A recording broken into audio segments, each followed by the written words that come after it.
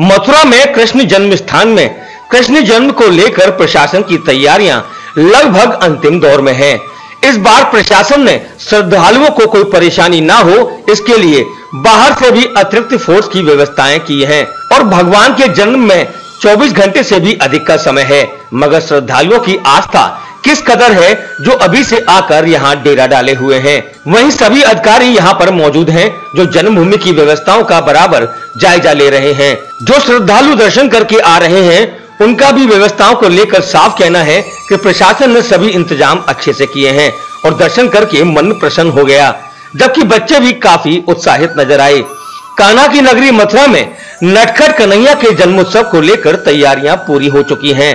और श्री कृष्ण जन्मभूमि परिसर को दुल्हन की तरह सजाया गया है। अपने नटखट कन्हैया के जन्मोत्सव में देश ही नहीं, विदेशों से भी श्रद्धालुओं का आना शुरू हो चुका है। जन्मभूमि परिसर में देर रात में भी दर्शन करने आने वाले श्रद्धालुओं का तांता लगा हुआ है। जन्मभूमि परिसर चारों तरफ़ से रंग बिरंगी जगमगाती विद्युत रोशनी से आच्छादित हो रहा है।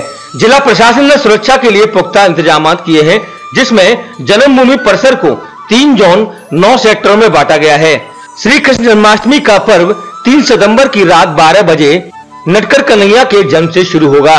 इस बार जन्माष्टमी के दिन कान्हा के जन्मोत्सव को लेकर भव्य बंगला तैयार किया जा रहा है। बंगला तैयार करने के लिए मथुरा, बनारस और राजस्थान के दर्जनों कारीगर अपने उपकरणों से भव्य बंगला तैयार करने में जुटे हुए हैं। इस बार कान्हा जन्मोत्सव के समय कमला कथी पोशाक धारण करके अपने लाखों भक्तों को नटकर कन्हैया दर्शन देंगे। जन्मभूमि परिसर में सुवर्ण आभा बंगला तैयार किया जा रहा है। वो नज़ारा अद्भुत देखने लायक होगा। कमल पुष्प, कमलाकृति, मक्खन की मटकी पत्र, पुष्प पत्र आदि तैयार की गई है। श्री कृष्ण जन्माष्टमी के मौके पर अनेकों अनेक कार्यक्रम परिसर में आयोजित किए जाएँगे। इस संदर्भ में एसपी सुरक्षा ज्ञानेंद्र कुमार ने जानकारी दी। सर, अभी मीटिंग हुई थी। उसमें सुरक्षा को लेकर क्या क्या वो रखे गए कहाँ कहाँ कितने पॉइंट बनाए गए हैं जिससे सुरक्षा अच्छी बनी रहे जन्माष्टमी पर?